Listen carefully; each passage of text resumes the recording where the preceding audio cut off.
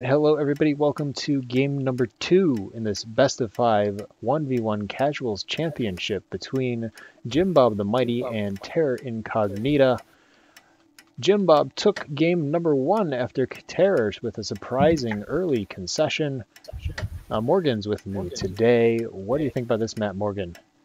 Mm, well, aluminium is very, very sticky. Nukes again. So one player could definitely dominate on aluminium somehow. Well, the only Um, reason why aluminum is going to be hard to dominate is it is stretched across the map and there's two highs. So it's going to be a little bit more difficult has been founded. to work. Um, well, Terror's not going to make that aluminum mistake. Goes for the scientist once again. Jim Bob, very interesting robot found. Looks like he wanted to found right next to this aluminum and didn't get it in time. Mm, it seems so, doesn't it? He'll have to go for the further aluminium. But he's going to cut steel mills, metal mine. Yeah, nice easy start. Yeah, that that is a very interesting founding location for Jim. It's really right in the middle of nowhere.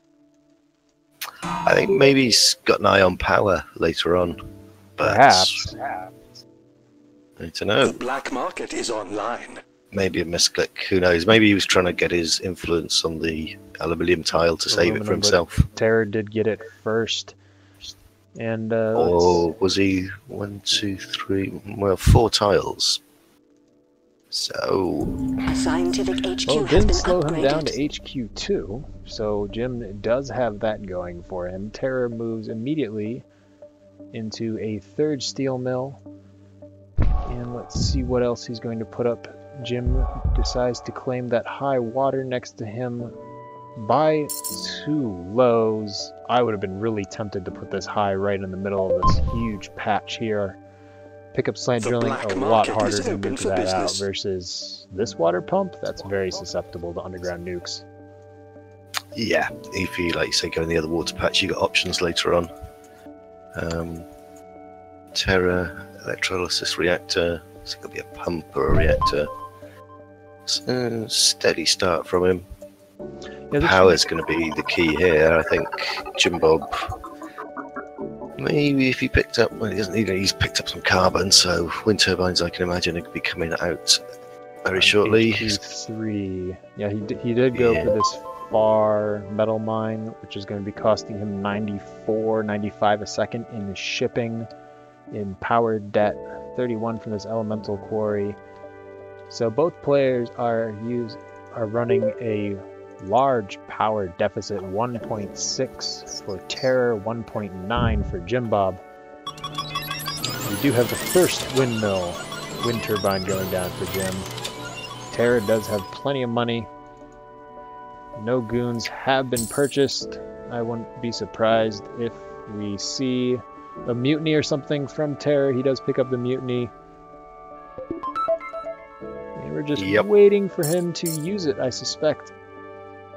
On It but pro- Jim Well, picked up a goon to put on a gonna- turbine. Oh, yeah, Terror's missed his opportunity. New land is Yeah. available for option. He could still mutiny uh, his iron away. That would cause a real problem for Jim Bob. It would, especially with iron at forty dollars and steel at fifty-four. That would be a really nice consolation mutiny. Uh, Terror wants this geothermal tile. No, with power see. at So- 250 and rising, I don't blame him. Terror is already in B levels of debt. Is going to hit that upgrade before building the geotherm. Yeah, I think he had to take the upgrades. He needs to get a bit of cash in, get this geotherm up as soon as possible, because he's racking up the debts for every second that this geotherm's not up. Mhm. Jim Bob a little slow to HQ3, but as soon as he comes along, I expect we'll see some more wind turbines out of him. Yes. Yeah, power is rapidly rising. There's uh, not a lot of demand from the colony, The so this is is just both online. play power starting high and both A players robotics HQ has been upgraded. moving into power a little bit. Well, I guess it's fast. It is only it is still Sol 2, but um That's finally Yeah, on its think- way down. A natural power surplus. Terror is not going to like this because just as his geotherm will come online, that power is going to be slowly creeping down, but it didn't go down very far. So it's going right back up. Yeah, Terror missed a big trick by not mutinying away Jim Bob's iron. He'd have caused the real problem. That would have slowed him down from HQ3, s- slowed to get the rest of the power up. Um, Doing that still would be a really good idea because iron is at 41 and steel's only at 15. These steel mills are losing Jim Bob $33 a second. Okay, he's finally deciding better and moving out. That opportunity has passed, so I'm really not sure what Terror is doing. Was planning on doing with that mutiny. Right now it's just a defensive mutiny. yeah, he's kind of just got it there doing nothing, which a bit of a waste of cash, really. But uh, managed to get himself out of the deep debts. He's still deep, deep, deep, deep down, but he's paid off a little bit if he can keep these solar panels up. and he won't. There's an EMP from Jim Bob, not unexpected at all. Terror still has one more claim to use. I'll be interested to see what he's going to do with that, and a dust storm. Terror's got to be quite unhappy about that. Yeah, that was pretty much the last thing he wanted to see. I mean, those solar panels could be useless now. But I suppose his geotherm's ticking You shouldn't buy this and use it on an. But That he needs to be mean. paying that debt off, especially with Win- windstorm coming up. I mean, Jim Bob could possibly make money on power. Yeah, yeah, the windstorm coming up, Jim should be able to pay through most of his power debt. Maybe not all of it. It's it'll depend on the price. Um, Congratulations. Terror's still hanging on to that mutiny. He knows that Jim only has one goon squad. So I'd like to see a mutiny the at least this very strong single wind turbine that's next to this empty tile that Jim hasn't put anything down yet. Terror Mm. should know that that's empty. I'm also waiting for Jim to put something there. Instead, he decides to freeze it. That works too. And hopefully mutiny the the other one. market is open for business. Would like to see Jim put down. Let's see, what is this? Uh, it's a weak wind. Well, power's kind of going down already, so that's not really going to matter. There's the mutiny from Terror right as the windstorm. Duststorm comes in. Jim's going to meet me right back. Yeah, it's making good money there. Hundred and ten dollars. Uh, yeah, not much else he could do really, but mutiny it away. That's going to hurt Jim Bob. But Terror's still hanging around in C debt, which could be a problem for him going forward. Yeah, this this will definitely could be a problem. It is C debt, but it well, I was gonna say it was only ninety-five thousand dollars, but after this twenty percent interest take, nineteen thousand more debt added on to what Terror owns. That is uh, a painful amount to have this early at Sol Four in the game. Now the good thing is if Terror can get up to HQ four food is still expensive. He could go. He's a little bit limited by his final location, but he can make some hate decent those money filthy off bandits. of food. Yeah, he's a bit hang- hang-strung without the slant drilling. He could do that. Could definitely do with that sooner rather than later. But um, I suppose two farms. Maybe replace the electrolysis reactors with some farms as well. which he's starting to do. hmm Especially now that this dust storm will end, those farms should be making him decent money.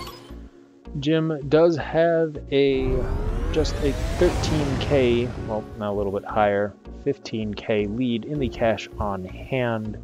Jim needs another is available for option. needs about 14k to upgrade. Additional he has 4000 in the bank. Versus terror needs 13k to upgrade all that in glass and he has 1300 in the bank. So both our players struggling a little bit to get to hq4 due to these high tertiary upgrade resource prices Yeah, Jim Bob being forced to build an electronics factory just to help him get over the hump. Steel's still pretty much depressed in price. Yeah, steel's pretty much depressed in price, but that's surprisingly where most of Jim's costs come from. The fourteen thousand dollars in steel. Sold. He does have a Jim does have a lot of water, so he could crash the price of water to get this upgrade if he wanted to. Yeah. He's got a claim there, it's going into a farm. So that'll help a little bit. He should be okay to get to his level 4 upgrade in reasonable amount of time.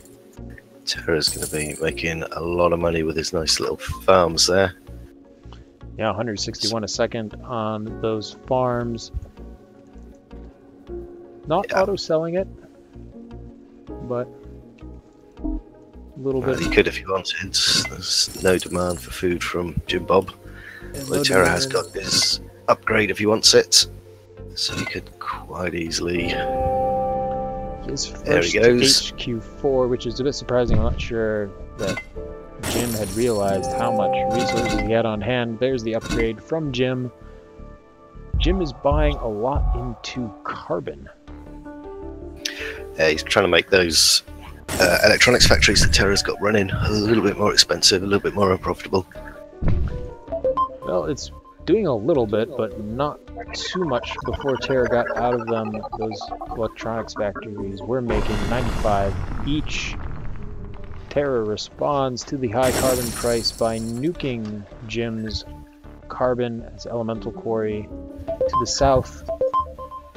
Jim has plenty of carbon on hand, so that won't hurt him anytime in the near future, but could be a little bit of annoyance as this game goes on. Terror, with that upgrade, has started to pull in cash a little bit faster than Jim Bob. Yeah, Jim Bob's quite well set up though. He's got some farms which are pretty profitable, a couple of electronics which are very, very profitable. If you can just get a get his steel up and running again, although he is going to be running an iron deficit building this third steel mill, so potentially there's a little weakness for Terror to exploit if he's able. Yeah, there's some weakness, underground nuke, or maybe just buy into that steel. Just make it a little bit more difficult for Jim Bob. As it is, Terror's moving into a bunch of glass kilns, which are making. Okay, well, once they're online, they'll make Let the Somebody. bidding begin. only 22 each. Yeah, I'm quite surprised Terror's allowed his solar panels to be running for so long when power's been a dollar. Know um, Okay, this is a sort of an artificial price tear. Both players, both players have significant stockpiles of silicon on hand. Jim's because he has not been selling his silicon. Terror because he bought into silicon to move into these glass kilns. Yeah. Financial instruments, interesting patent. How high do you bump this up if you're Jim Bob? Well, he decides 18k is not enough.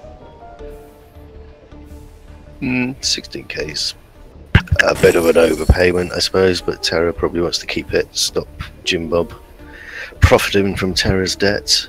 But he's just added 16k to his debt back into a D bond rated. That's pretty much Terror's problem at the moment, is debt. Everything else is running quite nicely. Yeah, debt and a slight was slightly behind in cash on hand. The although, patent lab is yeah, constructed. Let's get our science on. a lot of that is tied up into these patents, carbon scrubbing, going for Terror next, which will allow him to get into these otherwise very HQ profitable electronics upgraded. factories. Demand from the colony for electronics is still very high, consuming 1.6 is electronics a second. And Jim is only producing 0.75 electronics, so there's still plenty of demand for those electronics, plenty of profits to be made for both players. Yeah. You see Terror moving into carbon scrubbing. And carbon's prices was made steady, but Jim's been forced to go into a second carbon claim, which, when you're limited in the number of claims you have, the robots, it's never a great idea to have to put a second tile over the carbon, especially with nukes around. Yeah, now that Terror has carbon scrubbing. He doesn't really care about the electronics price, the carbon price for his electronics. They're going to make him a nice 163 a second. Jim's water claims finally run out. His electrolysis reactors are turned on, but are losing him 110 dollars. I'm sorry, what? Ten dollars a second. He's gonna run out of his water supply anytime now. Yeah, it's only the O2 price, I think, that's The that's black market keeping is open for business. Well, he's Running buying until- into oxygen. Yeah, somebody's going to get a hacker rate down, aren't they, and start spiking O2. Jim Bob does have two advantages over Terror right now. First, he is at HQ5, so three advantages. HQ5, more cash on is ready hand. to lend its Although aid Terror to does, the a bunch of Terror's bidder. cash is tied up in his stock, and a significantly less amount of debt. Yeah, I'm not sure if Jim Bob should start investing in Terror or not. He's got a lot of money. Sold. Can't, he's not really in position to finish anything soon. No, we haven't looked at off-worlds yet. Off-world prices actually are pretty decent despite the highish on-world prices. Even though food's 116, launching at 31k profit a launch, we have 30k profit for fuel, although that's going to disappear if those off-worlds are on. Terror moving into teleportation. Yep, I'm not. Ex- well, I suppose that's for HQ has been Is one Oh, metal mine? know. Possibly. Is it, what is he moving into with these? He is going to go for the silicon. So, planning ahead. That patent did cost him a pretty penny, though. Teleportation, 10k. Well, not as bad as first thought because I forgot about 1v1 half-priced patents. The black market is online. Hmm, definitely worth picking up then. But power's spiking again. So both of you go. I mean, Terror's well, dust storm coming, which isn't really going to help Terror, but there's some money to be made there for Jim Bob, who's uh, making money hand over fist at the moment. He is 242k on hand. A lot of this is tied up in that silicon, which he just sold all the way down to 21 dollars. Yeah, Also, a lot of money tied up in this water from yeah. Jim Bob. He's 75% of the way there, though. I think he's definitely in a position where he could be threatening Terror, maybe buying some stock up. I mean, like you're saying, Terror's not really that liquid at the moment, is he? No, Terror doesn't have a lot of assets in terms of cash on hand. He still has three claims that he needs to put down. Uh, life support's still pretty high. There's a lot of water. He has teleportation. I might think about doing that. He also could He needs go to, yeah. into some more electronics or some chems. Those are all high. Plenty of money He made on to. world, but he's not moving into anything, and probably gonna lose the Well, game right here. Yeah, he needs needed to use those claims a lot sooner than he did. Uh, You his, can't sort of let in them his get silicon. Bid now before it's too late. Yeah, because uh, as soon as the silicon quarries came online, Jim Bob sold all his silicon, crashing the price. So now he's gone into some glass, but Jim Bob's got 100% on him. Um, I think he could probably even shift by him if he wanted to. Yeah, if Jim Bob's paying attention, that shift by should be there, so we should have Jim coming up with a 2-0 lead over Terror any time right now. He must know. There it is. Jim takes game number two. A little bit longer than the first game. And um, Yes. Yaron did, did call it earlier, saying that Terror either dies to debt or 1v1. Well, Terror did sort of die to debt. Debt was definitely a problem, and then just not able to make enough money. Yeah, I'm, I'm a bit disappointed that there weren't more nukes thrown around. I mean, you could have really caused a problem for yeah, more nukes. Thrown around. There's this metal mine long distance that was just sitting here begging for something to be done with it, make that upgrade from H2Q to HTQ3 for Jim extremely painful. Definitely ways that Terror could have potentially given himself some more leeway to pay off his debt or at least keep it in check and get into that long game where as a scientist he should have had an advantage. Oh, absolutely. If you can keep the robot down and make it difficult for him to upgrade and like use the nukes to make him spend and waste his claims on taking basic resources that he could have got away with with maybe one or two claims before really hassle him um yeah it doesn't really matter if a nuke comes back onto a scientist No, But- story of the There we go. terror had his opportunities i think and he probably should have taken them Yeah, there definitely definitely were some opportunities there. Um, definitely some things that Terror could clean up in game number three if he wants to extend this series and make it a long one. Um, at Jim, Jim just played a, despite my initial qualms about his founding location, Jim just played a pretty solid game all around. yeah he was st- low and steady Slow and But, uh, was steady. left in- alone to do yeah he was left alone to make his transitions and try and make the profit where he could um, it would have been nicer to see the scientists hassle him Yeah, a lot more at with the black market. market. So both players did purchase a decent number of black market items. Jim Bob with the four EMPs, one dynamite, terror, pirates, a spy, an underground nuke, and a mutiny. Roughly the same amount of black market for each player, but Jim Bob's just felt a little bit more effective. yeah yes i think it did even even though he was playing against a scientist he made good use of them